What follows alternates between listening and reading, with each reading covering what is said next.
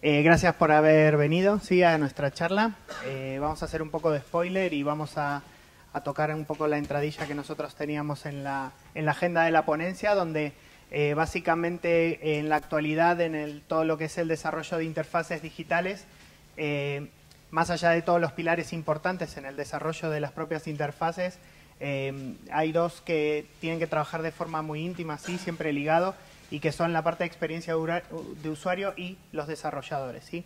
Si bien son, se pueden tomar como dos mundillos totalmente diferentes, tienen que tener muchísima sinergia entre ellos para que garantizar un poco el éxito ¿sí? del producto que estemos desarrollando. Buenos días a todos. Pues en esta, en esta charla pues no vamos a analizar lo que es una, la, última tecnología punta ni vamos a revolucionar el mundo UX. Eh, sería un cuñazo, lo siento. Eh.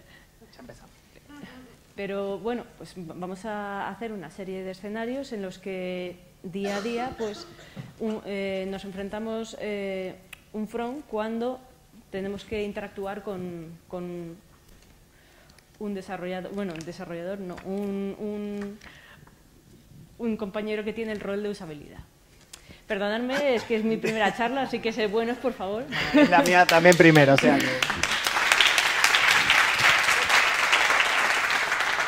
Bueno, no nos hemos presentado, yo soy Oscar Guevara, eh, en el mundillo de la experiencia de usuario como consultor desde hace bastantes años. Y justamente, bueno, en este momento soy responsable del Departamento de Experiencia de Usuario de Softec. Eh, Softec es una empresa que lleva bastantes años en el sector de IT, pero bueno, nuestro departamento es relativamente joven, eh, aproximadamente un año, donde hoy a día de hoy somos unos 18, 18 pirados que intentamos hacer lo mejor lo mejor posible por, por nuestros clientes y, todo lo que, y todo lo que nos toca en nuestro día a día. Eh, ¿Tenemos UX por aquí en la sala o soy el único? O sea que hoy me van a castigar. bueno, bien, pinta bien la, Sí, sí, Vas a recibir una paliza, pero muy severa. Bueno, pues eh, nos, dice, nos llama pirados, pero es que el principal pirado es él. Y bueno, pues yo soy Inmaculada Reyes, soy desarrolladora frontend en, en Softec, en el departamento que dirige este hombre. Y bueno, pues eh, principalmente eh, me centro en lo que es el desarrollo de lo que, conocemos como componentes. Todos, si sois desarrolladores, vamos que la mayoría tenéis que serlo, ya lo conocéis, la estructura, la personalización de estilos y lo que es la funcionalidad del lado de cliente.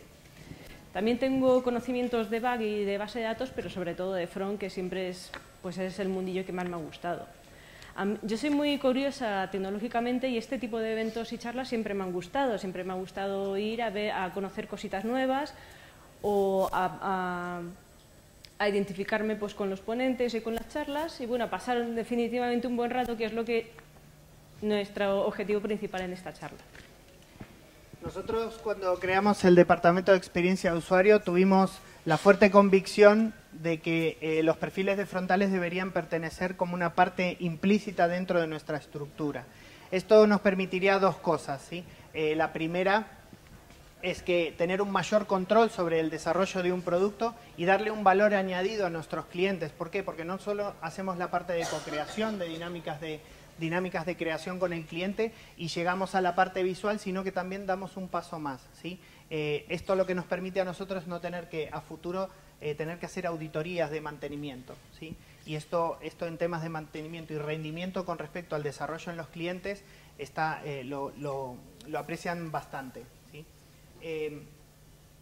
nosotros, nosotros creemos, básicamente, bueno, y el segundo punto es que eh, nosotros incorporamos toda esa experiencia y ese background de estas personas como un conocimiento transversal y cross dentro del propio departamento. ¿sí? O sea que nosotros también aprendemos de, sus conocimientos y nosotros aportamos también conocimientos a la gente de front. Eh, nosotros creemos en definitiva que cualquier persona puede aportar una experiencia y un valor ¿sí? Desde, desde su propia perspectiva y conocimientos y a nosotros nos, gusta muchísimo dentro de nuestro departamento contrastar nuestras hipótesis con esa contextualización real, esa experiencia y ese conocimiento de las personas que lo integran, ¿sí? Eh, más allá de cualquier aspecto analítico que podamos obtener desde un informe. Eh, tres cosas. Esa pantalla debería estar girando a otra. Lo siento, lo siento. Claro, te pone, eh, tienes una manía y es que te pones a rajar y, todo, todo lo demás eh, se difumina y no, y no da lugar. Bueno, otra cosa, no me dejéis mal, ¿cuántos desarrolladores de front hay, por favor? Muchas gracias por hacerme caso. Y sí, después quedamos y le damos una paliza. Y bueno, pues entonces, como, como ya habéis visto, mi compañero pues empieza a hablar, empieza a hablar y pues no acaba. Esto es una de las cosas que tienen de mal los UX, que se estén tanto explicando cada, cada pequeño detalle que eh, hay algunas veces que son detalles mínimos y que la mayoría de los usuarios pues no se percatan en que están ahí. Así que corta un poco el rollo, por favor. No pensé que te molestara tanto lo de los de que fuéramos así y todas estas cosas. A ver, nosotros eh, nosotros eh, lo que tenemos en nosotros tenemos muy en cuenta, sí, a la hora de, eh, a la hora de diseñar, sí, eh, dentro de los propios procesos, lo que nosotros creemos importante es que eh, siempre haya una consistencia en todo ese diseño, ¿sí? y mientras antes tengamos en la toma de requisitos esos, esa paleta de colores bien definida, lo que, como dice Inman, nosotros, bueno, no, no, tendríamos esas duplicidades o o ese, código o ese trabajo extra que tendríamos que tener de mantenimiento. Eh, para seguir unas directrices, nosotros dentro de nuestro departamento eh, utilizamos lo que es la metodología del Design Thinking, no sé si alguno la conoce por aquí. Eh, básicamente, bueno, para, a grandes rasgos, son los pasos que debería hacer un diseñador a la hora de enfrentarse a una serie de problemas para brindar una solución. Y nosotros, dentro de, esas, dentro de esa metodología, hay unos métodos que aplicamos, ¿sí? que pueden ser lo siento, no sé si estoy gritando. Bueno, eh, nosotros dentro de esa, metodología aplicamos una serie de métodos, ¿sí? Eh, que pueden ser desde la propia toma de requisitos, análisis heurísticos, test de usuarios, y hay dos cosas muy importantes, bueno, una sola en realidad, que son las guías de estilos y los sistemas de, diseño que vamos a utilizar como herramientas de comunicación a la hora de comunicarnos con, la parte de los frontales. ya volvemos a hablar de eso más adelante nosotros lo que, lo que hacemos es recoger esa guía de estilos que, nos, que han especificado tanto con, su información tan detallada y extensa de cada una de las cosas que, lo forman y realizamos lo que todos conocemos como los componentes. Son pequeños eh, trozos de código que son reutilizables, es decir, ese mismo tipo de código te tiene que valer para este proyecto y para cualquiera. Después de todo, eh, también lo puedes personalizar dependiendo de los proyectos, pero lo que es la base tiene que estar pues muy, em, muy, limada y, que no se pegue con nada, que sea una forma mm, que esté como aislado. Lo que una de las cosas que nosotros eh, cuidamos es la calidad del código. Bueno, es que dice, eso lo hace cualquiera, no lo hace cualquiera. Eh, se, hace una serie de, tareas y entonces pues, cuidamos la calidad del código, eh, estamos atentos a las buenas prácticas que vamos viendo ahí, leyendo artículos y, que, varios compañeros nos van compartiendo y el, código debe estar debidamente comentado, que esto, es mucha, esto que es mucha gente no lo hace. Y claro, pues entonces me parece algo clave. Un, buen código realmente se tiene que explicar por sí mismo. realmente cuando, cuando se pasa a otro, a otro compañero, pues también tiene que saber cogerlo y una mínima información pues es muy, es muy de agradecer. Nosotros, una, una de las cosas que, no que hacemos es hacerlo desde cero. No estamos influenciados como, eh, por frameworks como el famoso Bootstrap ¿Por qué? Porque al final generamos mucho más código y después tenemos que pisar los estilos, tenemos que hacer parches funcionales porque la funcionalidad pues, no es exactamente como nos, dicta el prototipo de los, compañeros de usabilidad. Y hay una cosa que a mí me revienta mucho y es inspeccionar un, componente que se ha hecho y aparece dropdown y aparece dos veces con, con los estilos bien tachaditos y entonces hay duplicidad de código, tenemos que evitar eso. ¿Puedes pasar, por favor? Una de las cosas que de vez en cuando pues, nos encontramos es que hay una falta de definición, falta de definición de lo que nosotros tenemos que desarrollar. Por ejemplo, no hay un prototipo. Eh, esto es la estructura básica de una web, las diferentes interacciones y, es una especie de guía, así muy a grosso modo, de, lo que tenemos que hacer. Pues a día de hoy yo no sé vosotros, pero yo no leo las mentes. Si no me enseñas que, tengo que desarrollar, no lo voy a poder hacer. También eh, las estimaciones cuando realmente no está mm, eh, todo definido, no tienes un contenido claro. Me tienes que estimar esto como tú buenamente puedas y ya, ya le pasamos esas estimaciones al cliente y si, no la, y si no las cumplimos es tu culpa porque no sabes estimar lo que es la nada. También te vamos a enviar un proyecto, te vamos a enviar un proyecto que, es, que te cagas de lo bueno que es, pero no te vamos a decir absolutamente nada sobre, sobre de qué consta. Pues no sé vosotros, pero a mí cuando me dicen te va a encantar, a mí ya me mosquea. No me vas a dar ningún detalle, pero me va a encantar. O sea, te vamos a mandar al infierno, pero te va a encantar. Y lo de, eh, independientemente de, lo que tardes en hacer una serie de tareas, pues nos los tienen que entregar eh, la semana que viene porque es una, algo muy urgente, es algo crítico. Y claro, bueno, pues yo te lo entregaré la semana que viene, pero si no me dejas unos plazos que sean acordes, pues entonces lo que te voy a entregar es una bonita mierda. Igual que la bonita eh, mierda del tiempo que me has dado para desarrollar ese tipo de cosas. Bueno, como dice Inma, básicamente, la falta del prototipo, la falta de una definición, la propia imaginación de los clientes muchas veces en esas planificaciones, el no definir un objetivo claro de lo que debe hacer la aplicación, el no conocer a los usuarios tampoco de antemano para saber qué es lo que se tiene que hacer, lo que normalmente genera en este tipo de proyectos es un caos, ¿sí? que todos los participantes o interlocutores dentro del, equipo y de lo que es también la parte de negocio genere frustración.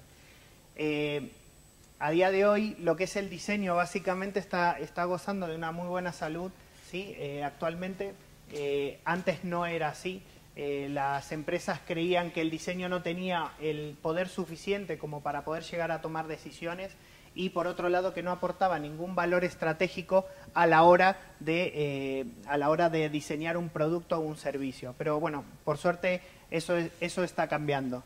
Eh, nuestro departamento básicamente cree fehacientemente que eh, los departamentos de experiencia de usuario no deben ser solamente un pegote en un organigrama, sino que debemos ser una parte activa, implícita, dentro del cambio de ese paradigma que es la forma de trabajar y pensar también en los diferentes proyectos. Yo por anteriores trabajos, y me muerdo un poco la lengua al decirlo, porque me vuelven un poco loca con las modificaciones que, que me mandan, eh, el, papel del UX en un proyecto yo creo que es importante. No voy a decir fundamental, voy a decir importante. ¿Por qué? Porque después de todo eh, hay algunas veces que en los departamentos no, no, hay este rol. ¿Por qué? Porque no hay dinero suficiente, porque, pues mira, para, eh, no lo necesitamos, o mi favorita, indiscutible, es ¿para qué vamos a contratar a alguien si ya te tenemos a ti, eso no lo hace un front, eres una tía muy capaz, lo puedes conseguir absolutamente todo si te lo propone. Dices, sí, claro, pero ponme un X, por favor. Entonces, ¿qué pasa? Que al final, como, nos pone en la, diapositiva, pues los front acabamos asimilando todos los roles, no solo los roles propios del front, sino los, los roles propios de un, de un UX y acabamos saturados. Al final de que cada uno tiene, como dice mi compañero, cada uno tiene sus experiencias y demás, pero él está más, eh, tiene unos conocimientos más sólidos de usabilidad. Yo te puedo hacer lo que quieras, pero quedará de aquella manera.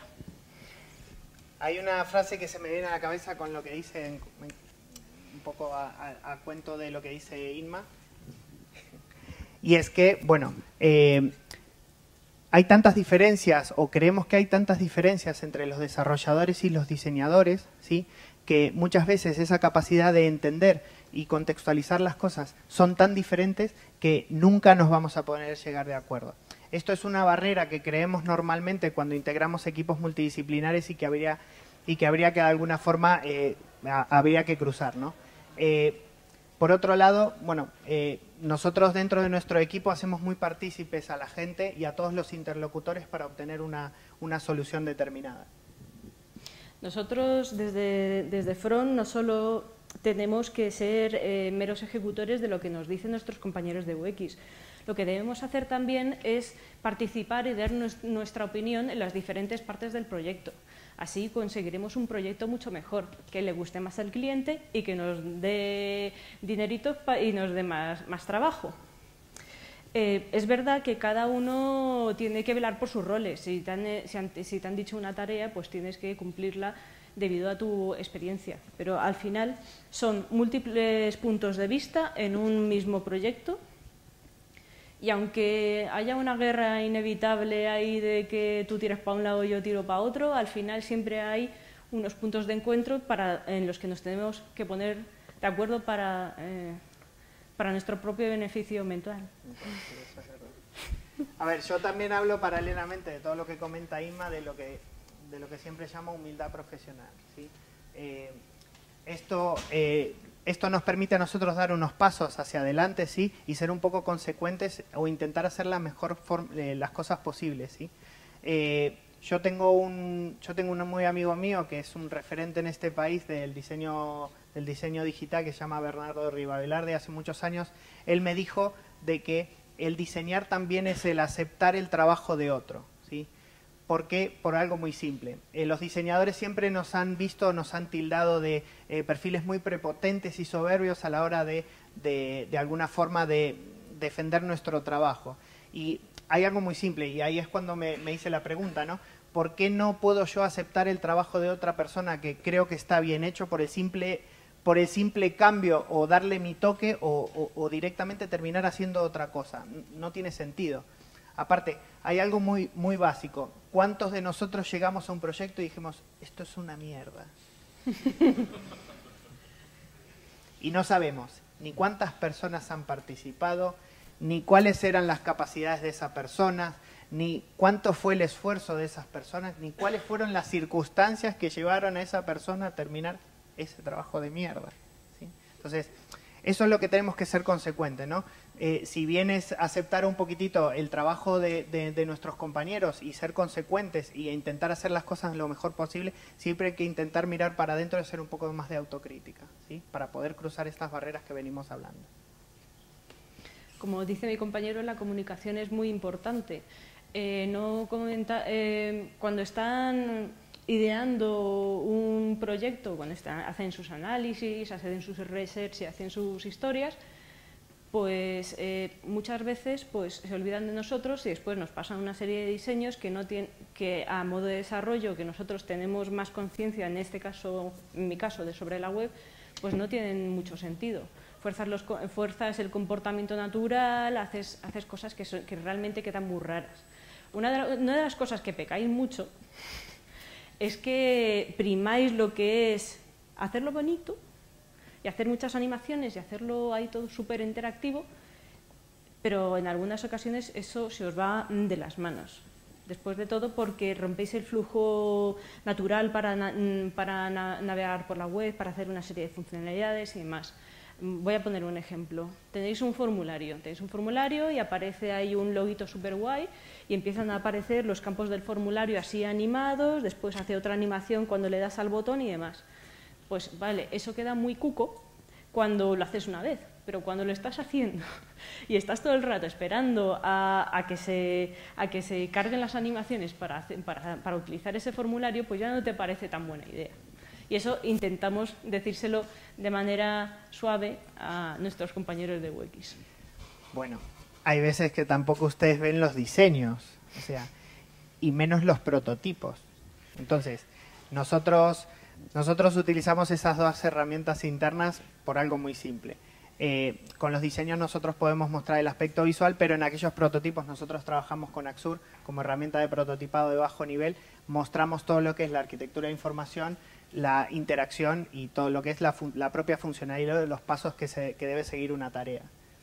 Seguimos los, seguimos los diseños, de hecho los diseños es una de las cosas que que más vemos porque vemos más el producto final Sin embargo, por ejemplo, se han eh, una, eh, las guías de estilos que vosotros mismos habéis definido tienen, por ejemplo, una cosa muy definida que son los márgenes.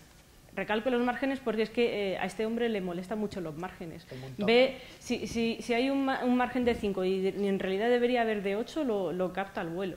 Y entonces, si por ejemplo en los diseños hay 800 tipos de márgenes y en la guía de estilos hay 5, pues eh, eres tú el que no sigue tu propia guía de estilos. Bueno, veo que voy a tener que darme con el látigo de siete puntas. Bueno, a ver, eh, lo que está claro es que todos debemos intentar hacer el mejor trabajo posible. ¿sí? Y existen muchísimas herramientas de comunicación internas en las cuales podemos basarnos también para minimizar todos estos errores que existen a la hora de comunicarnos con nuestro departamento de front. Entonces, eh, nosotros utilizamos eh, la parte del sketch para diseñar, utilizamos el Zeppelin para la comunicación entre, entre la parte de front y la parte de UX, utilizamos programas eh, para sistemas de gestión de tareas como el Asana y el Trello. ¿sí? Bueno, todas estas herramientas lo que deberían ser es revisadas paulatinamente, decididas ¿sí? entre los propios integrantes para saber cuál, con qué herramienta nos sentimos más cómodos y revisarlas paulatinamente porque si no funcionan hay que cambiarlas directamente.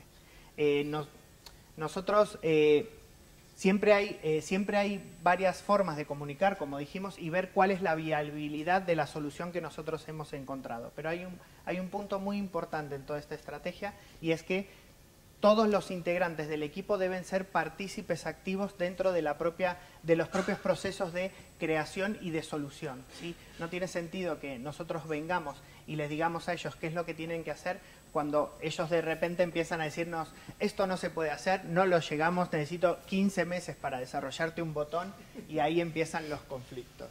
¿sí? Entonces, si nosotros llegamos a hacerlos a ellos partícipes de nuestros procesos de desarrollo y de, creación y de encontrar soluciones, ese no que encontraríamos desde un momento inicial, lo que pasaría a ser es un busquemos alternativas al problema que tienes. ¿sí? Entonces, eso lo que genera es una relación de confianza, ¿sí? Y un mayor aporte de conocimientos o de, como quieran llamarlo, ¿sí? Es, es un tema de relación. Nosotros pasamos mucho tiempo, si a ustedes le deben pasar lo mismo, pasamos mucho tiempo con nuestros compañeros de trabajo como para estar llevándonos a las patadas, ¿sí? Por un tema que lo podemos solucionar entre todos.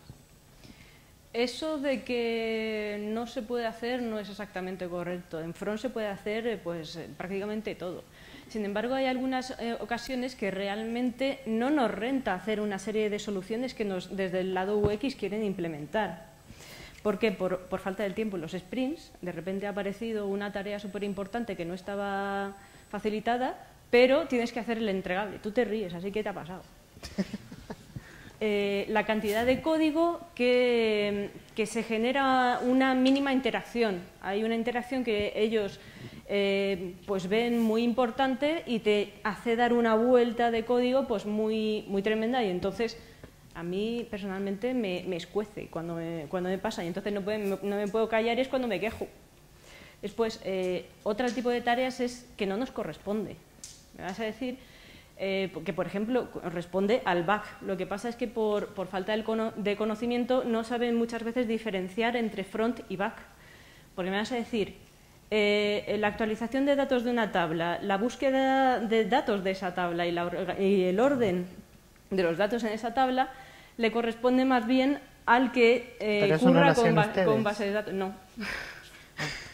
Ah, Nosotros podemos hacer una especie de simulación, le das un botoncito que tienen 800 millones de botones encima de cada tabla porque hay 800 millones de, funcionalidades y cambia, pero realmente va a ser un código que a modo visual te sirve para ver que, pasa algo en esa tabla, pero al back no le va a servir absolutamente para nada. Entonces es como generar código que al final no van a utilizar.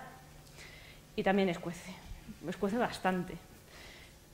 Eh, por ejemplo, también eh, el cliente nos pide una librería para hacer una serie de componentes y ellos vienen con una funcionalidad que rompe el comportamiento de esa librería, pues entonces tampoco podemos implementarlo.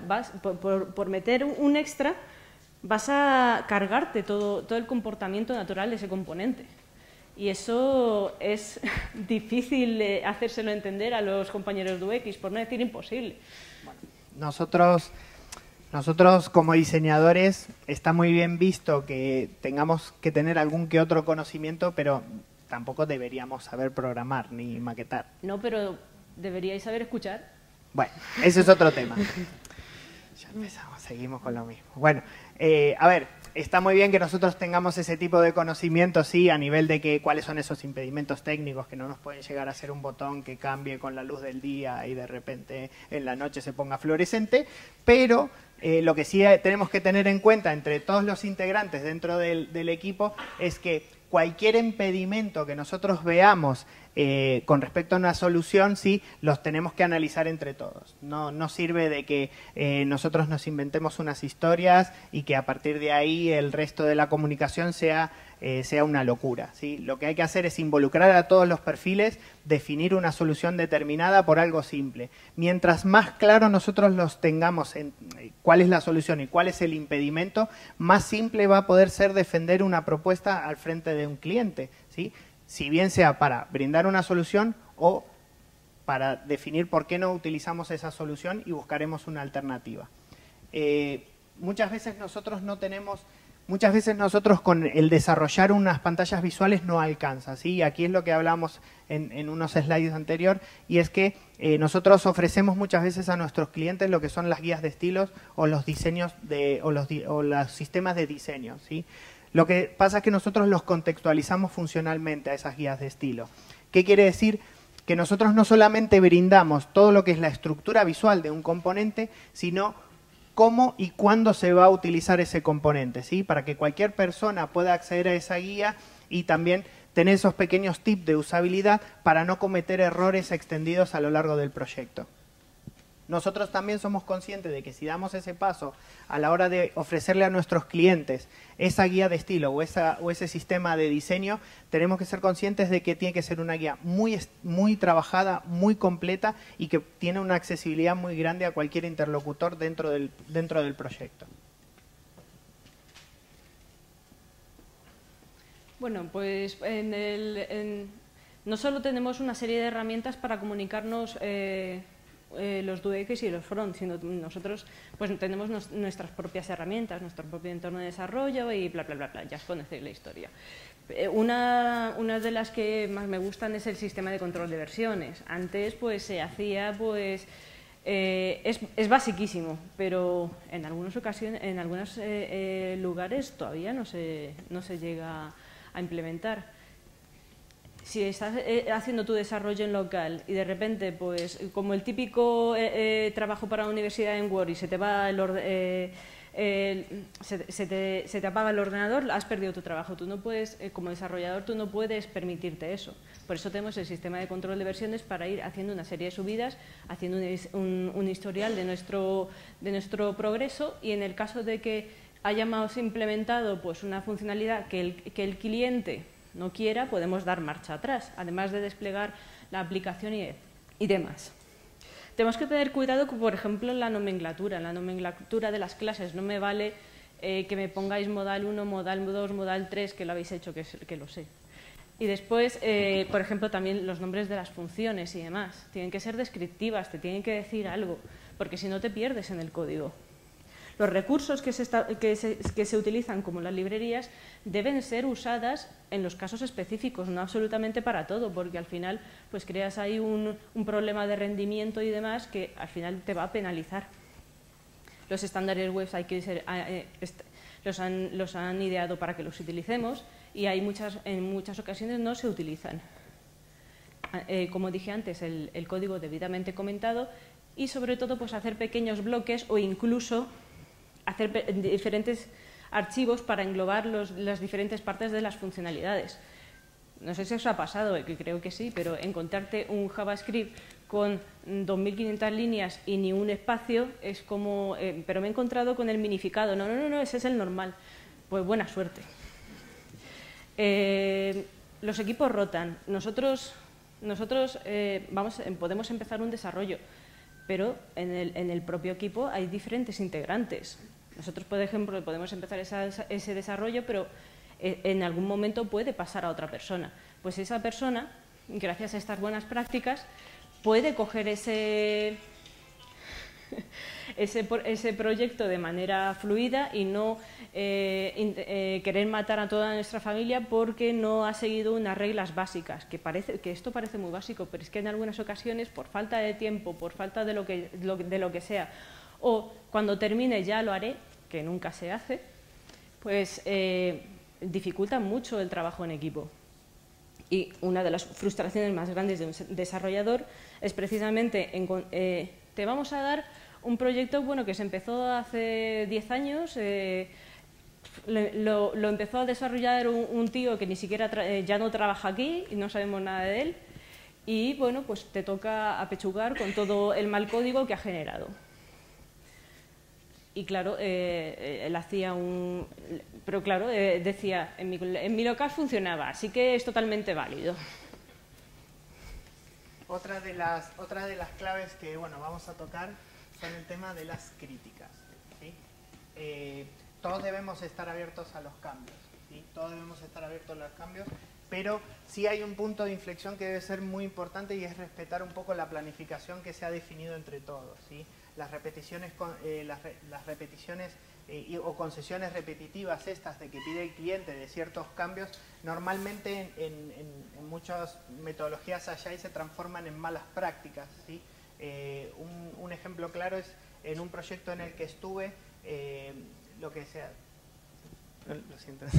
Una de las cosas que una de las cosas que yo he vivido es que en un proyecto Agile teníamos los mismos cuatro puntos en esos sprint review al final de los sprint eh, que no los llegábamos a solucionar nunca y era normalmente esos cambios que siempre nos daban el cliente y los absorbíamos como sea sabiendo que teníamos ya nuestros puntos de tareas eh, definidas desde el, sprint, desde el sprint anterior.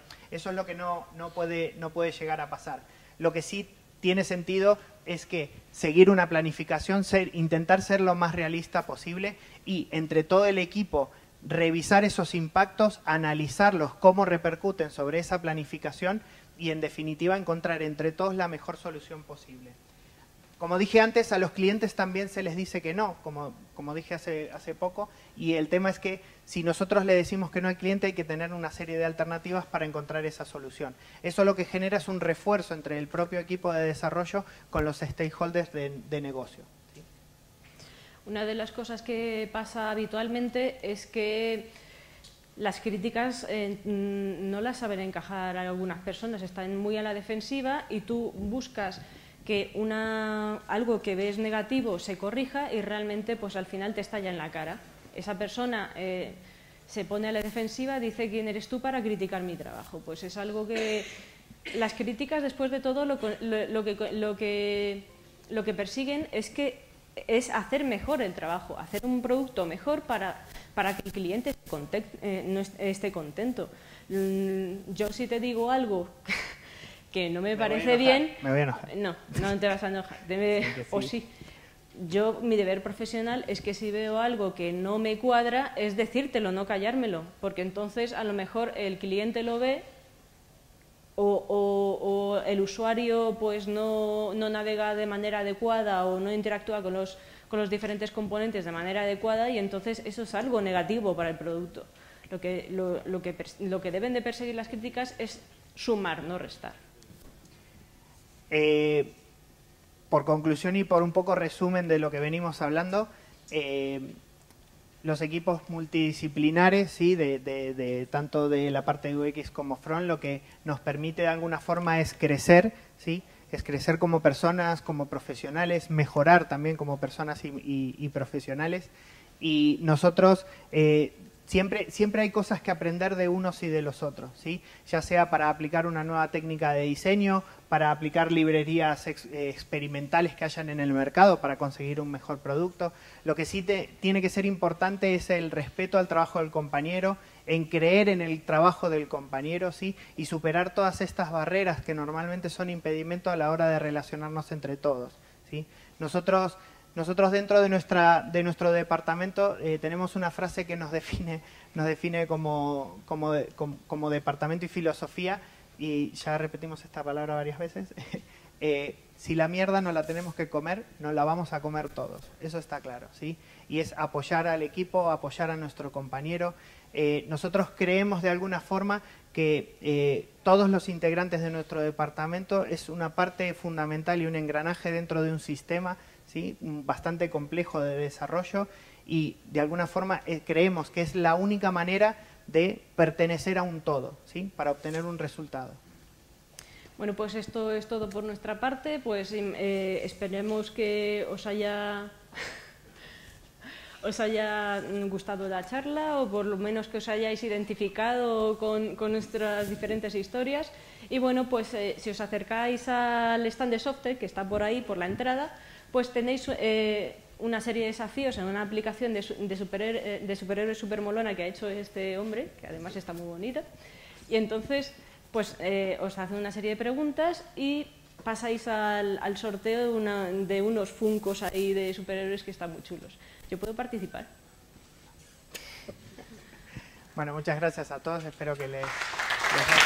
No sé, si, no sé si tienen alguna pregunta para nosotros. Espero que no, porque... No se te ha oído con los aplausos. Ah, es verdad.